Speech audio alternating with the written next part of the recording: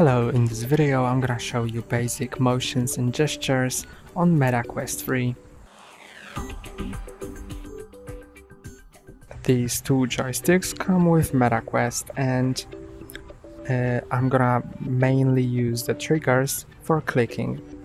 So to click on something you need to first point on it, then click on the trigger and it opens uh, the window and here are quick settings. You can open them. You can move them by pressing and holding on the trigger then dragging it. You can see that I have these three places where I can put the window or I can put it anywhere else.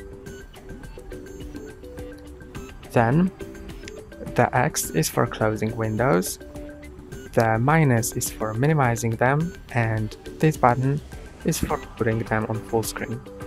In full screen you can also move the window by dragging this bar. You can click here to flatten or curve the window. You can enter pass-through, adjust dimming or exit theater view. Then to adjust this dock position you can also move the bar and to open or hide the dock uh, click on the meta button which is here on the joystick